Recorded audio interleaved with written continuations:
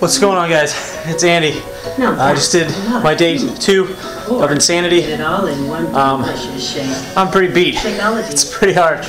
Uh, I'm sweating. head to toe. I mean- I'm my. I've sweated my socks. I think there's a pool here in the carpet now, but Log on Anyway. to teambeachbody.com and join the Team Just bring it. Club. So For those of you out there who struggle through the easiest program. things, You'll get access it gets easier. to a list of fitness tips It does. advice from our celebrity But keep pushing. It's worth it in the end. Life Hacks and Beachbody TV. I'm out of here. I'm gonna go drink some members and Shakeology, right replenish my body, dedicated to helping you get the and maybe take a shower. See ya.